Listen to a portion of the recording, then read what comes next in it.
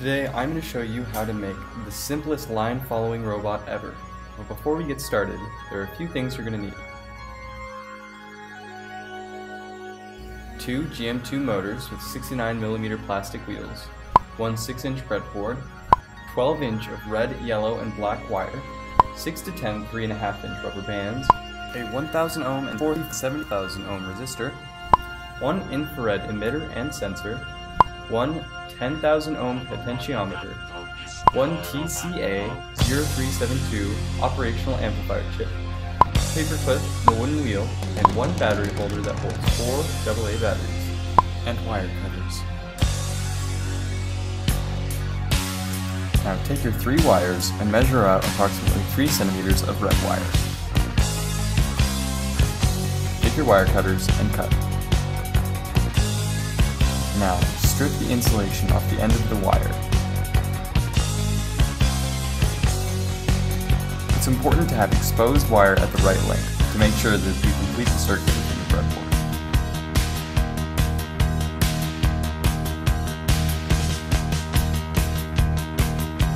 Here's wire that is too short. It's better for it to be longer than shorter, because longer wire means that our circuit will be continued.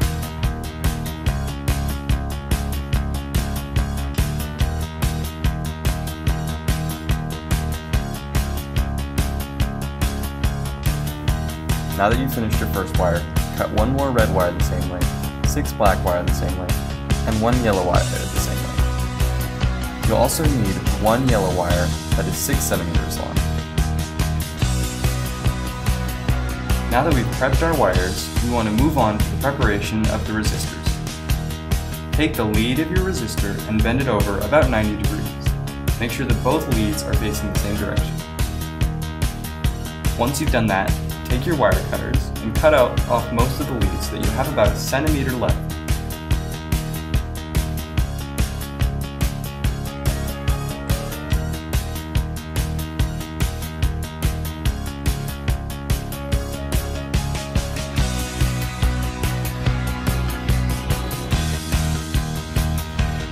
Make sure to do this for both resistors so that when putting them in the breadboard, you have no troubles.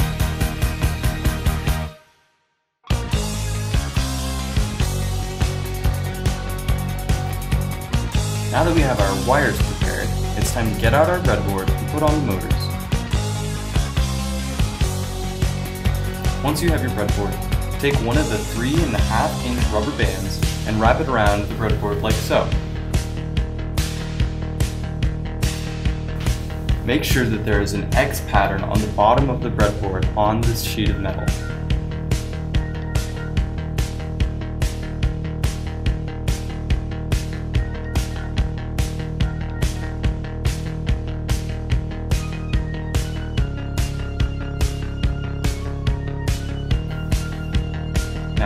Your two motors and insert them into the breadboard as shown. It's important that when they're put on, they're resting against each other like this.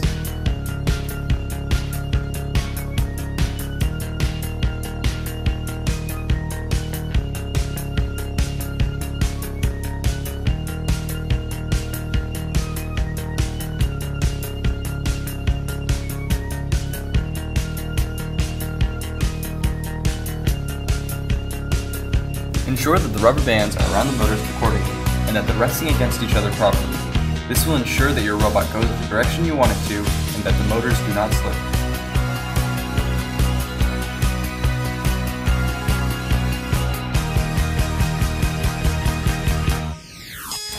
Now, with what's left of your red and black wire, cut one of each color about 5 centimeters long and strip the insulation off each end.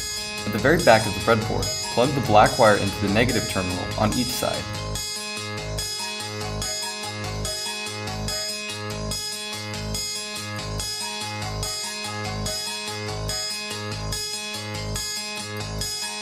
Then plug the red wire into the positive terminal on each side.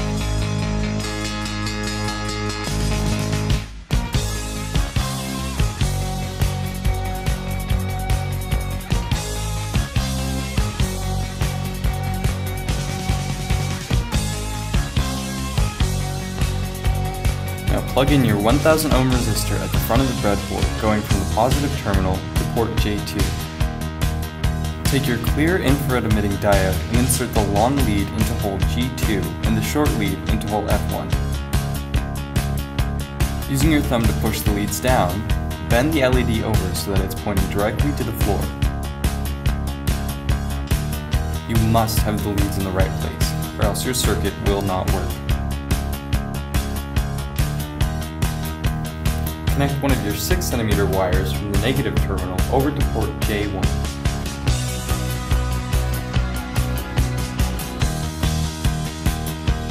Take your 74,000 ohm resistor and plug it in on the opposite side, into the positive terminal and port A1.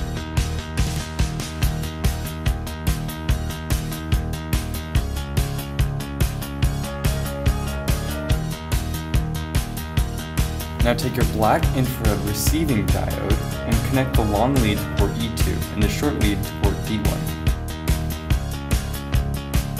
Holding the leads into place with your thumb while you bend the receiving head downwards.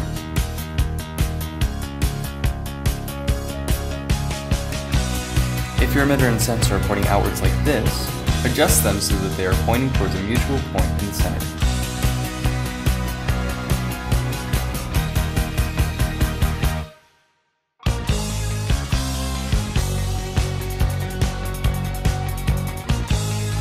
Once you're finished with the resistors, plug your potentiometer into port J9, 10, and 11 with the wheel facing towards the right of the breadboard.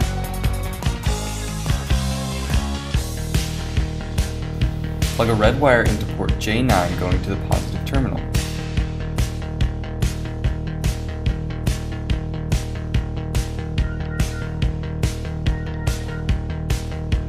A black wire from port J11 to the negative terminal.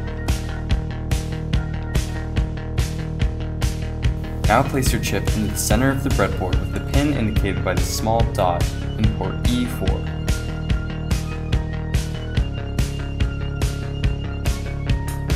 Now plug a black wire from the negative terminal to port A2.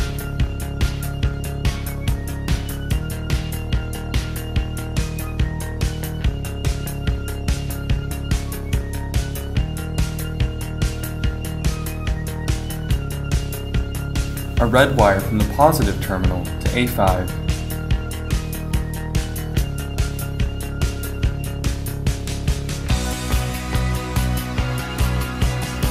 and a black wire from the negative terminal to port A7.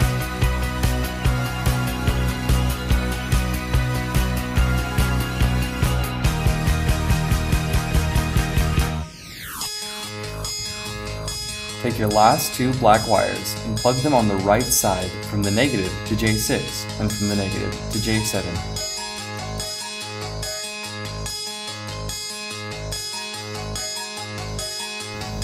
Double check your wires to make sure all red wires are plugged into the positive terminal and all black wires are plugged into the negative. Take your yellow wires, plugging the short one from J10 to J5.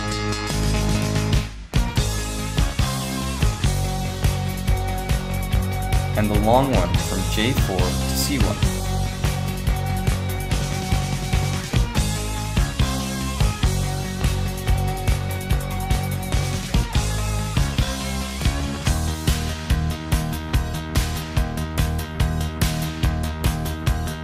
Grab your paperclip and wooden wheel, and bend the paperclip as shown.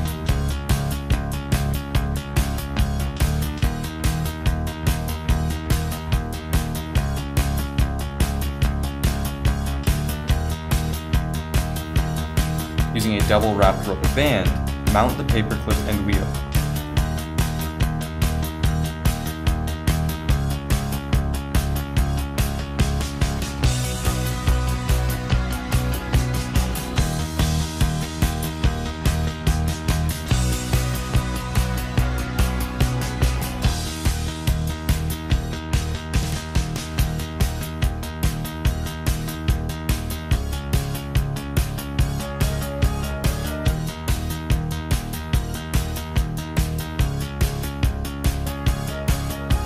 Now grab your battery holder and a rubber band.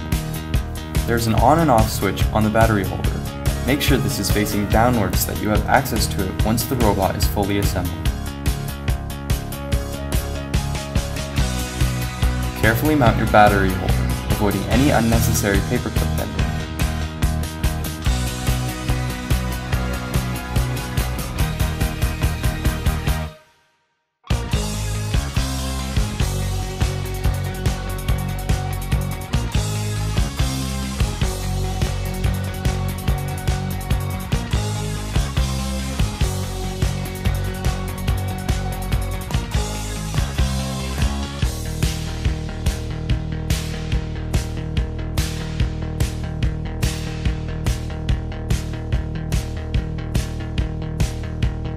Front of the board, plug the red wire from your right motor into port C4 and the black wire into the negative terminal on row 13. Then take the red wire from your left motor and plug it into port E4 and the black wire into the positive terminal on row 9.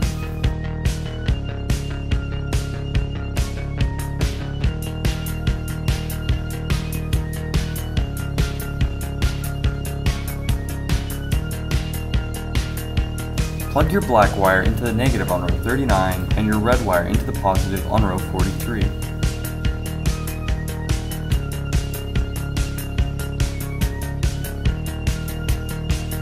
Now that everything is plugged in, put your plastic wheels onto the motors.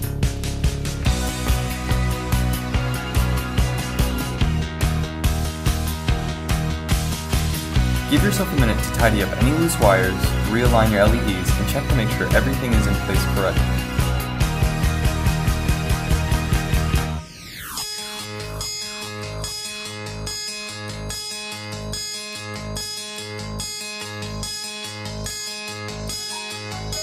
To follow the line, the robot uses sensors to detect the reflection of infrared light. But whether or not these sensors work correctly depends on the sensitivity set by the potentiometer. To adjust the sensitivity, turn on your robot and hold it over the white surface with the black line to the left. Make sure all wheels are touching the floor. Turn the potentiometer all the way to the left counterclockwise, so the right motor is rotating. Then swing the robot back and forth over the line, making micro adjustments until the right wheel is rotating over the black line and the left wheel is rotating over the white surface.